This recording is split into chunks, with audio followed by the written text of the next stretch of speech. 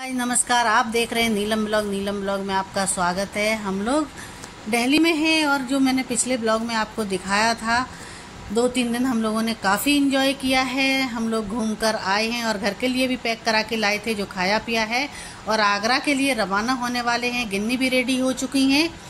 खाने पीने के बाद नाइट के 11 बज रहे हैं और हम लोग निकल दिए हैं घर से। रास्ते में ये कामर वाले लोग मिले हैं, जो कि पूरे रास्ते मिले हैं ये लोग। और ये लोग जयकारे बोलते हुए चल रहे थे, जय भोले की, जय भोले की। तो मन में बड़ा भक्ति भाव जाग रहा था।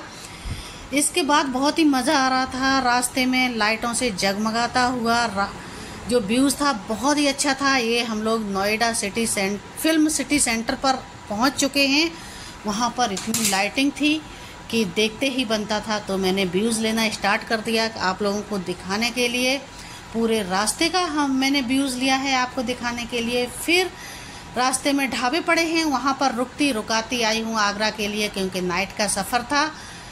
तो चाय वाय पीते हुए, खाते पीते हुए हम लोग आए हैं ढाबे पर। काफ़ी देर रुके हैं हम लोग, एक घंटे के लगभग ढाबे पर रुके हैं। बहुत ही इन्जॉय किया है, क्योंकि बेटा और मैं तो बहुत ही इन्जॉय कर रहे थे। वहाँ पर सभी लोग हम लोगों को ही देख रहे थे, इतना इन्जॉय किया था हम लोगों ने। यहीं ब्लॉग समाप्त करती हूँ। बाय